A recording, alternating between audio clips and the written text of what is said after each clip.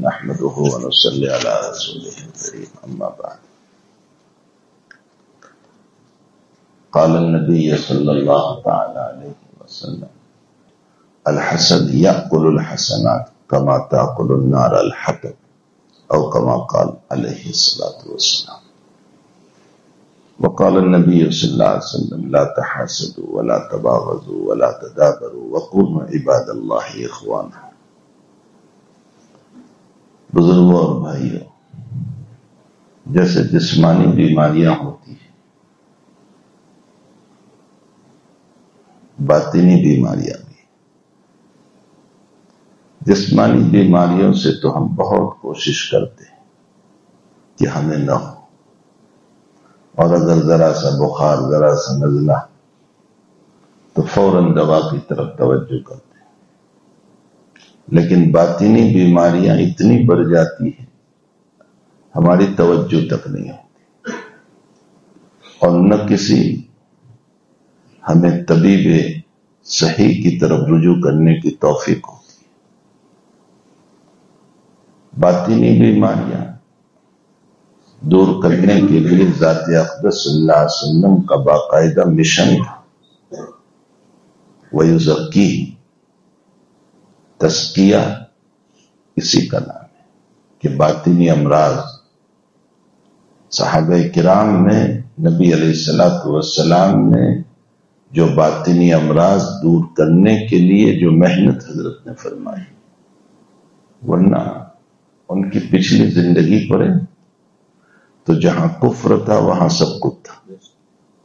اس لیے کہ کفر جب ام الفساد تھا تو نیچے کی تو ساری بیماریاں موجود تھی ان میں اسی لیے ان کا لڑنا پھرنا تھا، اسی لیے ان کی دشمنیاں تھی اسی لیے ماردار تھا۔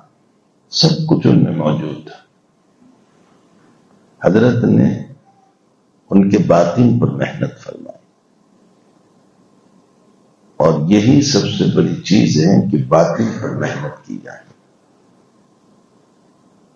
خانقاہوں میں یا اپنے مریدین و متوسلین میں اس بات پر خود شیخ کو بھی اپنی ذات پر اپنے آپ کو مستثنا نہ سمجھے، بلکہ خود اپنے آپ کو بھی اس کا بیمار سمجھے۔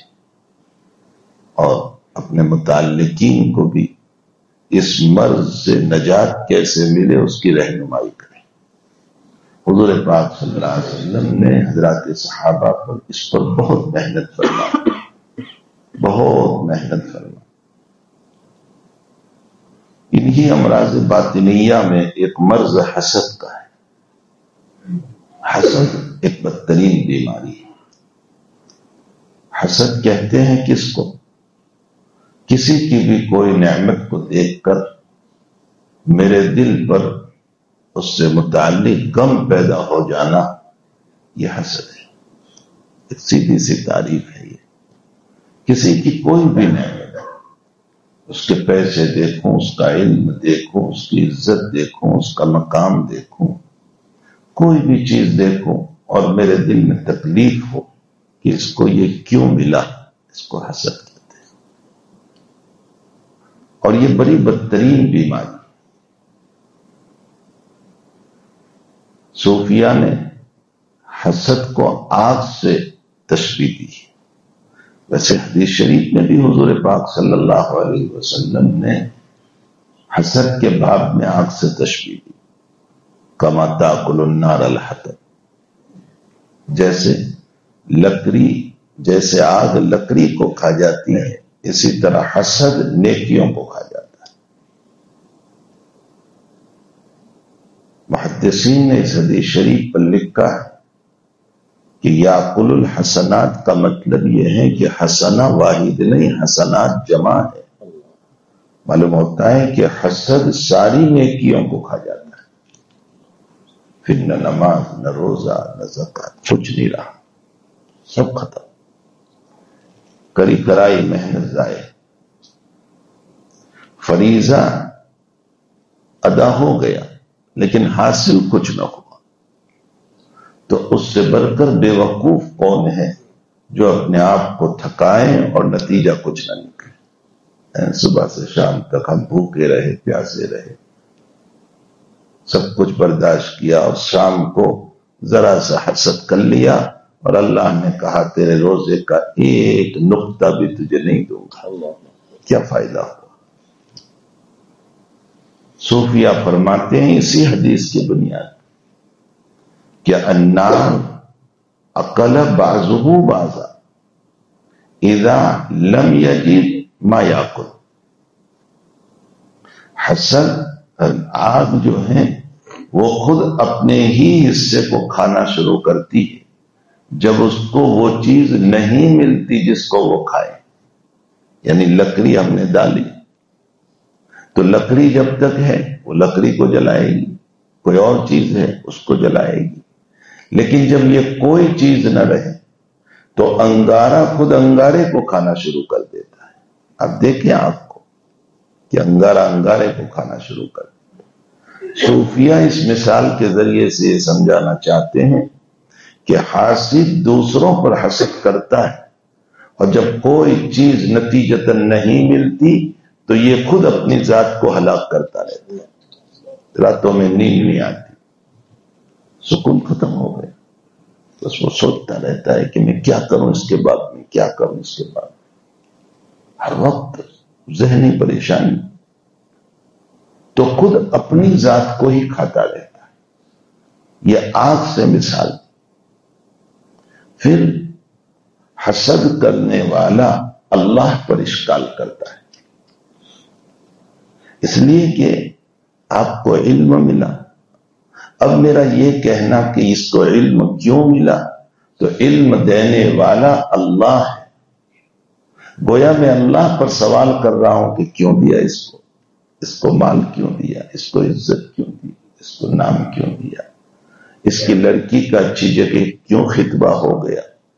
اس کا اچھی جگہ نکاح کیوں ہو گیا؟ تو یہ اللہ پر اشکال ہے۔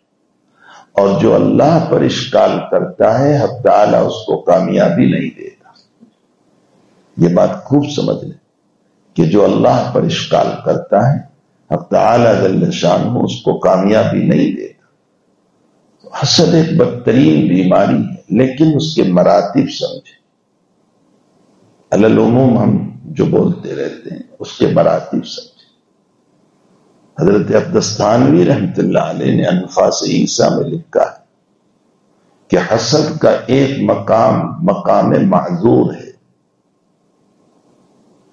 عذر ہے، معاف ہے۔ حسد کا ایک مقام مقام پکڑ ہے اور حسد کا ایک مقام مقام معجور ہے۔ اجر ملے گا۔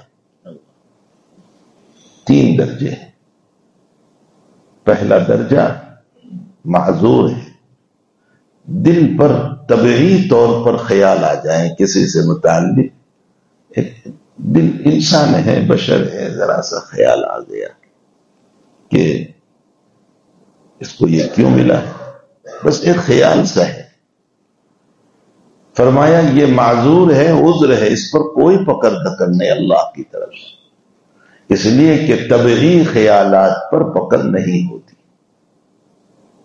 انسان کا قلب جو ہے نا، وہ ہائی وے روڈ ہے۔ اور ہائی وے روڈ پر اچھی گاڑیاں بھی گزرتی ہے اور انیس سو ستر کے خطارے بھی گزرتے ہیں۔ توتے پھوٹے بھی گزرتے رہتے ہیں۔ تو اچھی باتیں بھی گزرتی ہے، ایسے خیالات بھی گزرتے رہتے ہیں۔ اس سلسلے میں کوئی پکڑ نہیں۔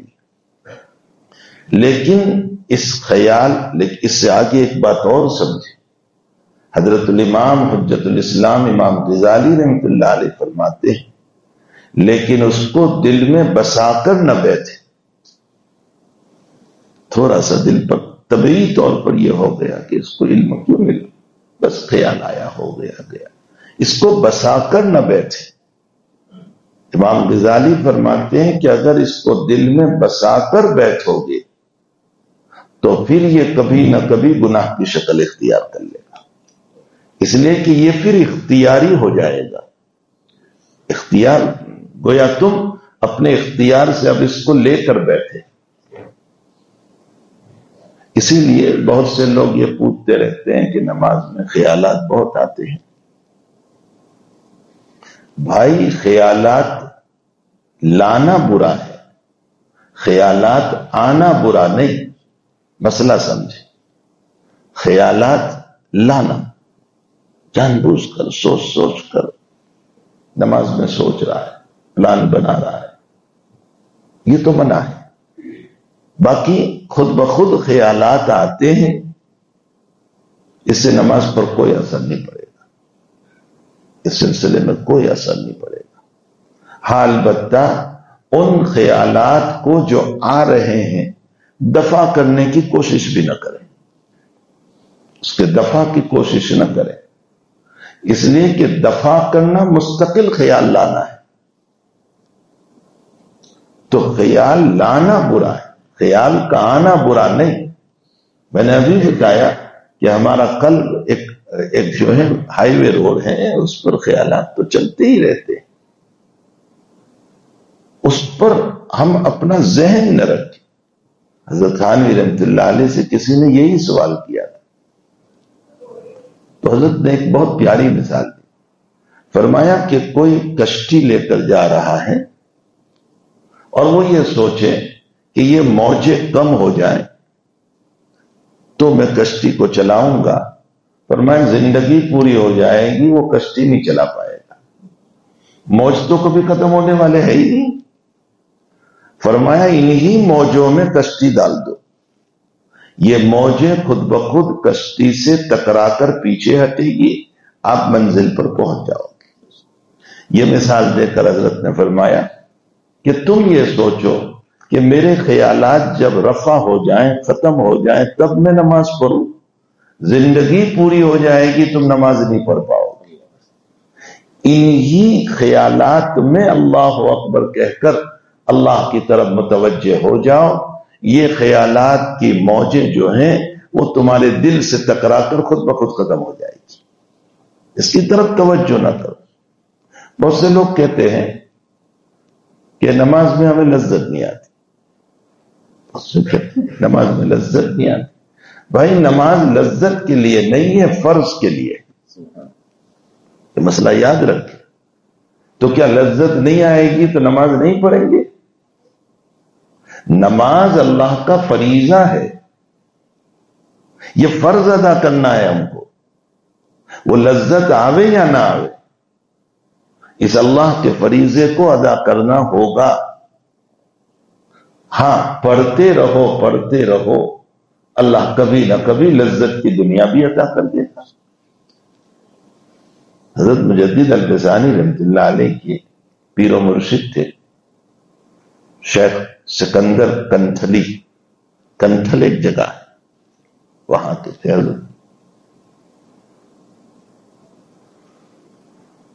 مجدد صاحب دو ڈھائی سال کے تھے۔ حالات میں لکھتا ہے کہ دو ڈھائی سال کے تھے اور شیخ سکندر کا ان کے گھر پہ آنا ہوا، ان کے والد صاحب سے تعلق کی بنیاد پر۔ فرمایا کہ بچہ بیمار ہے احمد۔ احمد نام تھا تو میں احمد بیمار ہے۔ نیمونیا ہو گیا تھا۔ تو پہلے ہی وحلہ میں شیخ سکندر نے جب مجدد صاحب کو دیکھا، تو حالات میں لکھتا ہے کہ شیخ کو شیخ احمد سے وہ محبت ہوئی جو آسیہ کو اول نظر میں موسیٰ علیہ السلام سے ہو گئی تھی۔ یعنی لا تک تو ان کو قتل نہ کرو، جب وہ بچہ ملا تو۔ اسائن فانی اور نتخذہ ولدا، یا تو یہ نفع دے گا، یا ہم اس کو اپنا لڑکا بنائیں گے۔ فرمایا، وہی محبت۔ اپنے گود میں لیا۔ سنو اپنے گود میں لیا اور شیخ نے اپنی زبان شیخ احمد سرہندی کے منہ میں دی۔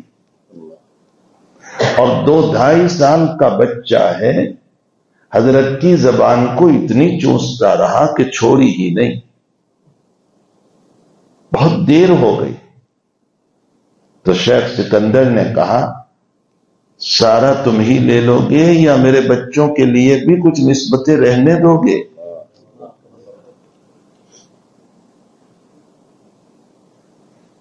اس واقعے کو نقل کرنے کے بعد لکھا ہے کہ شیخ احمد سرہندی کے اس عمل کے کچھ وقت کے بعد پہلی بات جو حضرت نے بچپن میں ارشاد فرمائی تھی، وہ کہیں پڑھے بغیر، وہ یہ تھی کہ ان الحسد یا کل حسنات کا ماتا کل نارل ہے تو میرے بھائیوں حقیقت یہ ہے کہ حسد اتنی بدترین، خیر میں یہ کہہ رہا تھا کہ نماز فرض کے لیے، یہ نماز جو ہے لذت کے لیے نہیں ہے۔ ہاں ایک وقت آئے گا کہ پھر اللہ تعالیٰ لذتیں بھی پیدا کرے گا۔ جیسے شیخ سرہندی جی فرماتے ہیں کہ اللہ تعالیٰ نے مجھے نماز میں وہ لذت عطا فرمائی جو لوگوں کو اپنی بیوی کے ساتھ محبتوں میں ہوا کرتی۔ اگرچہ یہ مثال اپنی جگہ چہ نسبت خاکرہ بعالم پاک لیکن بہرحال کہنے کا مطلب یہ ہے کہ لذت ہوگی تب ہوگی، ہمارا کام اللہ کے فرض کو ادا کرنا ہے۔ خیالات آئیں، اس کو دفع کرنے کی کوشش نہ کرے پڑھتے رہے بہرحال حسد ایک بدترین بیماری ہے۔ اللہ پر اشکال ہے۔ اب اس پر حضرت خانوی رحمت اللہ علیہ فرماتے ہیں کہ خیالات حسد کے اگر آئے وہ انسانی بشریت آتے ہیں اس طرح۔ بشرتے کہ اس پر کوئی رد عمل نہ کرے۔ رد عمل کا مطلب کیا ہوتا ہے؟ کہ مجھے جس سے حسد ہوا، اب میں اس کی برائی کرنے لگا۔ اب میں اس سے متعلق کوئی سازش کرنے لگا۔ اب میں اس سے متعلق کوشش کرنے لگا کہ اس کی عزت ڈاؤن کروں۔ اب میں اس سے متعلق بد دعا کرنے لگا۔ اب میں اس سے متعلق کہیں پر اس کی بات نکلی تو میں نے اگر مگر سے برائی شروع کر دی اس کی۔ کوئی اس کی تعریف کر رہا تھا۔ میں نے بھی ابتدان تعریف تو کی۔ ہاں ہاں وہ اچھے ہیں۔ مگر، وہ مگر میں پھر مگر مچا گیا۔ اس کی برائی شروع کر دی ہم نے۔ یہ ساری حرکتیں جب ہم کریں گے اس حسد پر گناہ ہوگا۔ یہ حسد وہ ہیں جو نیکیوں کو کھا جاتا ہے۔ ختم کر دے۔ گا اور کون سا حسد اجر دے گا؟ معجور ہوگا، اس پر اجر ملے گا۔ کبھی حسد پر بھی اجر ملتا ہے۔ فرمایا جی حسد آیا مجھے ان پر، لیکن میں نے فوراً پہلے تو اپنے دل کو کہا کہ نہیں، غلط ہے۔ نبی نے منع فرمایا۔ نمبر دو، میں اس کی خوبیاں یاد کر لوں کہ جس بنیاد پر مجھے حسد ہے، اس میں کوئی خوبی بھی تو ہے۔ اور تیسری بات، میں اس سے متعلق دعا کروں۔ اور چوتھی بات، مجالس میں اس کا تذکرہ آئے۔ تو اس کی تعریف کرو۔ چار باتیں ہو گئی۔ پہلے تو میں اپنے دل کو نہ کہہ دوں کہ نہیں ہمارے حاجی صاحب رحمت اللہ علیہ جس سلسلے سے ہم منسلک ہیں حاجی صاحب رحمت اللہ علیہ کے پاس کوئی آ کر کے کہتا تھا حضرت فنا آدمی ایسا ہے فنا آدمی۔ حضرت دو منٹ سنتے تھے فوراً کہتے تھے نہیں بھائی کچھ بھی نہیں ہے وہ تو بڑے اچھے آدمی ہیں۔ بس سارا مسئلہ ختم کر بڑے اچھے ہمارے تو شیخ یونس صاحب قدس اللہ کو ہم نے دیکھا، بعض مرتبہ کچھ لوگ آتے تھے۔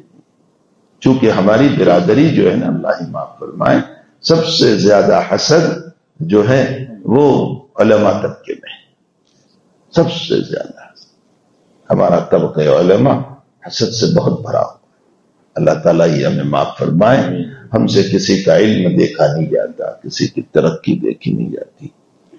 یہ یہ بدترین بیماری ہے جو ہمارے طبقے میں ہے۔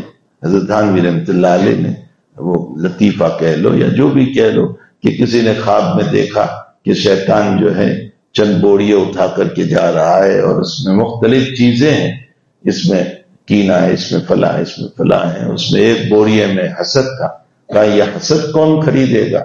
تو اس نے کہا کہ اہل علم مجھ سے خریدے گا۔ تو بہرحال، حسد اتنی بدترین چیز ہے تو ایک کام تو میں اپنے دل کو کہوں کہ نہیں، یہ غلط ہے۔ دوسری بات یہ ہے کہ میں اس کے محاسن کو، خوبیوں کو یا اس کا کوئی احسان ہے، اس کو یاد کروں۔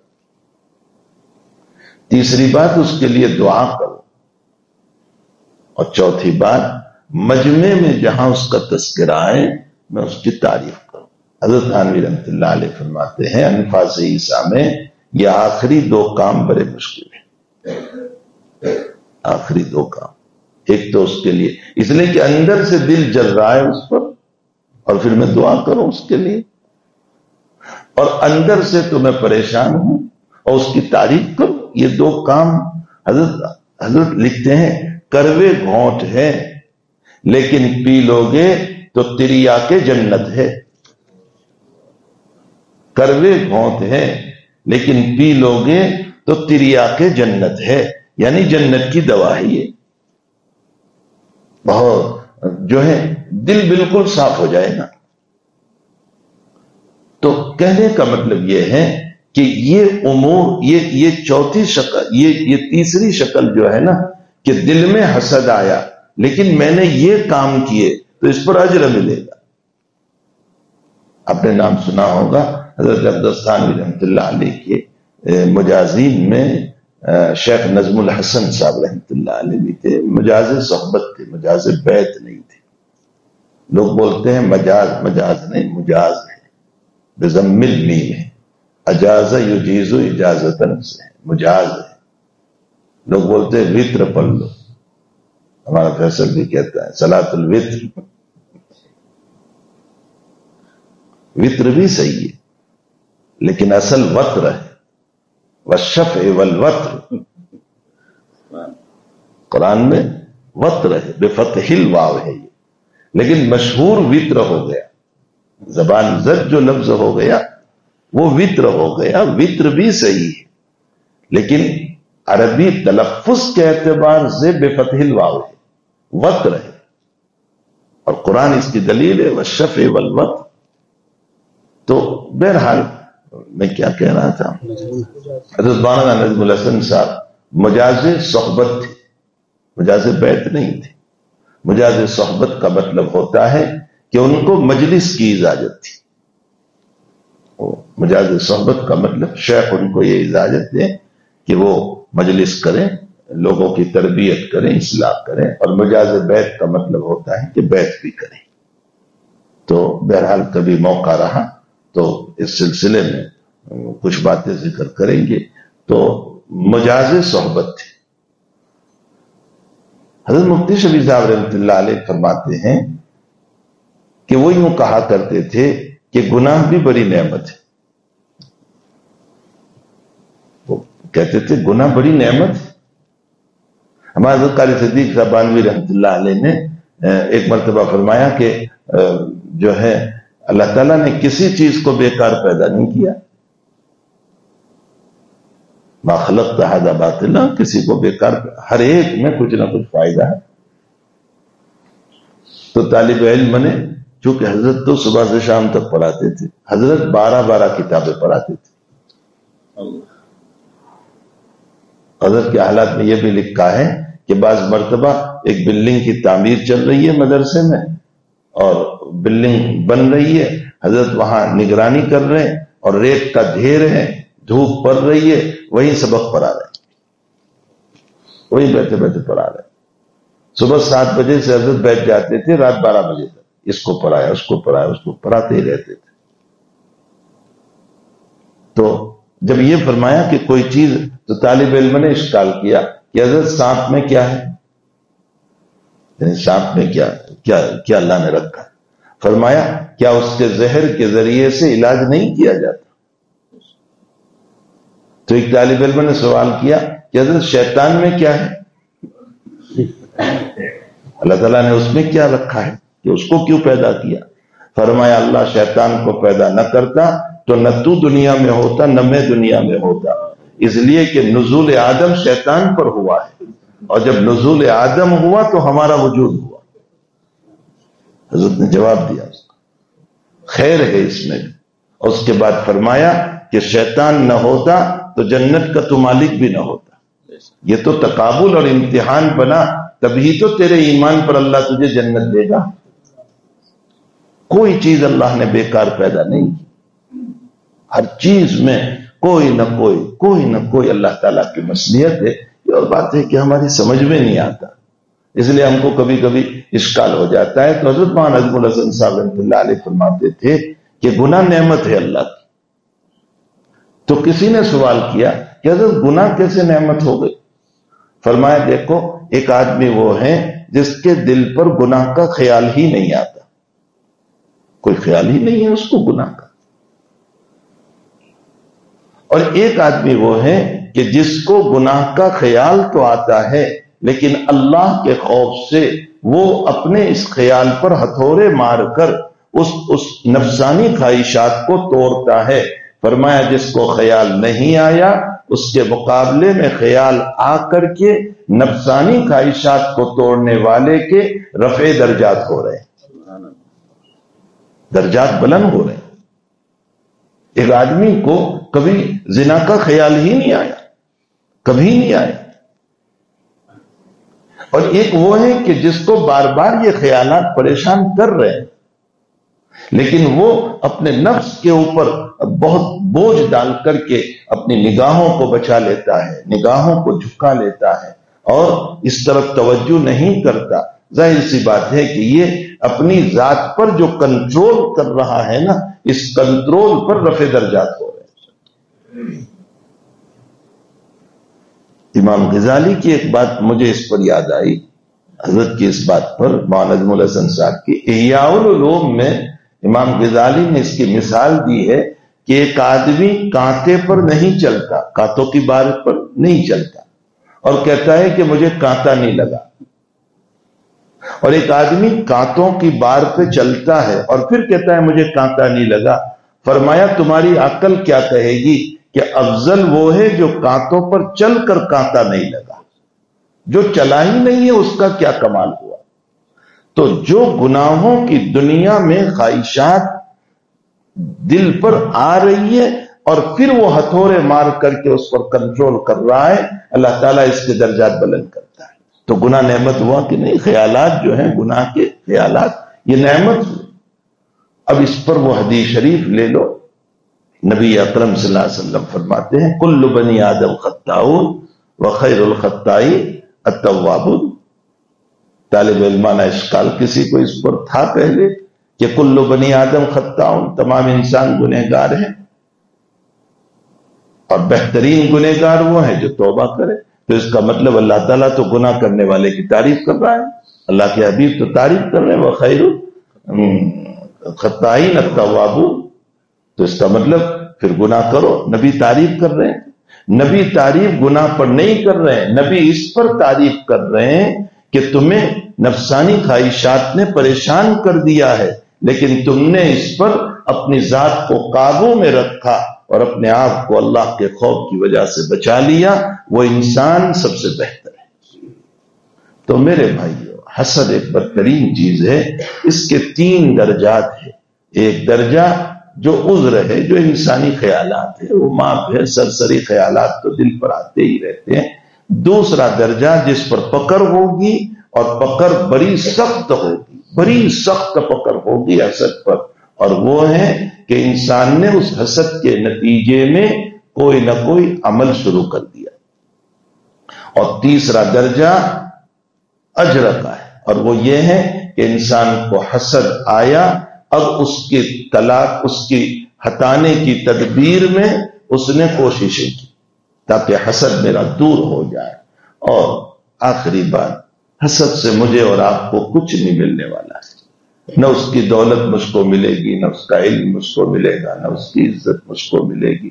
کوئی چیز ملنے والی تو ہے نہیں، پھر خاموں کا اپنے آپ کو حسد کی بدترین بیماری میں مبتلا کر کے اپنی راتوں کی نیند حرام کرنا اچھی اچھی غذاؤں کو حرام کر لینا، کھانا حرام کر لیتے ہیں۔ کھانے میں سکون نہیں، نیند میں سکون نہیں۔ پریشانیوں پہ پریشانیاں، ہر وقت سوچ ہی سوچ میں ہے۔ میں کیسے گراؤں کیسے گراؤں کیسے گراؤں؟ اسی میں میں پگھلتا جا رہا ہوں۔ میں اپنا بھی نقصان کر رہا ہوں، اپنے دین کا بھی نقصان۔ میرا دین بھی برباد، میری ذات بھی برباد۔ اللہ تعالیٰ اس مہلک بیماری سے ہم سب کی حفاظت فرمائیں۔ اس لیے صحابہ کرام کے باب میں آپ کہیں نہیں سنو گے کہ حضرات صحابہ کے باب میں کوئی حسد کا مسئلہ تھا۔ ایک روایت بخاری شریف میں ملتی ہے کہ حضرت ابو عبیدہ رضی اللہ تعالیٰ نے حضرت علی پر اشکال کیا تھا۔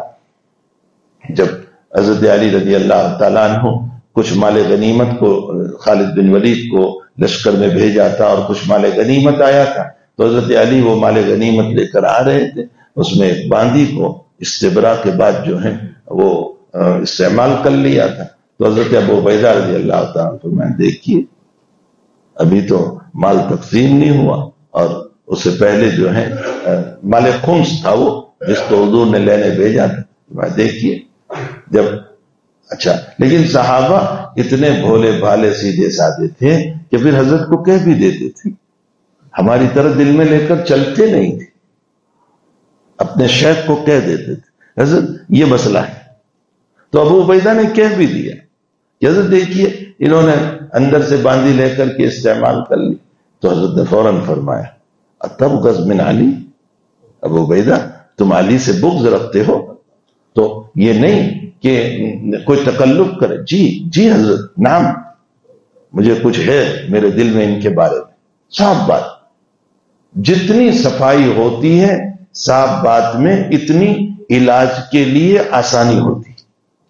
اور جتنے تکلفات ہوتے ہیں، اس میں علاج نہیں ہو پاتا۔ آپ ڈاکٹر کے پاس جائیں اور ڈاکٹر کو تکلف کر کے اپنی بیماری ہی نہ بتائیں تو وہ کیا کہے گا؟ وہ کوئی علاج کرے گا آپ کا؟ وہ پیراسیٹامول دے کر روانہ کر دے گا آپ کو؟ لیکن آپ بتائیں اس کو کہ مجھے کیا کیا ہو رہا ہے۔ تو اس کے مطابق وہ ہمارا علاج کرے گا۔ تو ظاہر سی بات ہے کہ تکلف میں مسئلہ حل نہیں ہوتا ہے۔ صحابہ بہت بالکل ایک صحابی رضی اللہ تعالیٰ بخاری شریف میں ہے کہ حضرت ان کے گھر گئے، حضرت سعد رضی اللہ تعالیٰ گھر گئے دستک دی۔ دو تین مرتبہ تو آئے، اب پانی سر سے تپک رہا تھا۔ دن کا مسئلہ تھا، ان کو غسل کا تقاضا ہوگا۔ تو بہرحال وہ غسل کر کے جلدی جلدی آئے اور حضرت نے فرمایا کہ لال لکاچل تو ہم نے آپ کو جلدی میں ڈال دیا۔ یعنی ہماری وجہ سے آپ کو جلدی غسل کرنا پڑا۔ تو یہ نہیں کہا نہیں نہیں حضرت آپ کی آمد ہو اور میں جو ہے تیار نہ رہوں۔ کوئی تکلف نہیں۔ صاف کہہ دیا۔ نام یا رسول اللہ، آپ نے مجھ کو اجلت میں ڈالا۔ اب کی وجہ سے مجھے جلدی کرنا پڑا۔ تو اب شریعت کھلی۔ حضرت نے فرمایا، اگر اس طرح کا مسئلہ ہو جائے اور کسی کو ملنا ہو اور نماز وماز کا وقت نہیں ہے تو فوری غسل کی ضرورت نہیں ہے، وضو کر کے مل لو، مسئلہ کھل گیا۔ یہ کب کھلا؟ جب ایک صاف ستھری بات ہوئی اگر تکلف کرتے تو یہ شریعت کیسے کھلتی؟ تو حضرات صحابہ فرمایا، اتب غزبن علی علی سے تم ابو عبیدہ بغض رکھتے ہو۔ فرمایا نام یا رسول اللہ، مجھے تھوڑا سا ان سے۔ تو فرمایا کہ نہیں، بغض نہ رکھو ان سے۔ پھر فرمایا، علی نے تو ایک باندھی لی ہے اس کا حصہ اس سے زیادہ ہے۔ کیوں؟ اس لیے کہ وعلم انما غنیمتم من شیء فان للہ خمسه للہ ولی رسول قربا رشتہ داروں کا حصہ ہے اس میں۔ فرمایا، اس سے بھی زیادہ حصہ ہے۔ حضرت ابو عبیدہ فرماتے ہیں، اس دن کے بعد میرے دل سے یہ حکارت نکل گئی۔ تو میرے بھائیو، صحابہ کی زندگی اس طرح کی بیماریوں سے پاک تھی اور کوئی مسئلہ ہوتا تھا تو نبی سے رجوع فرما کر اپنے دل کو صاف کر لیا کرتے تھے۔ اس مقبوض بیماری سے اللہ ہم سب کی حفاظت فرمائے۔ وصلی اللہ علیہ نبی کریم سبحان اللہ بحمدی سبحانک اللہ و بحمدی اشہدو اللہ الہ الا انت۔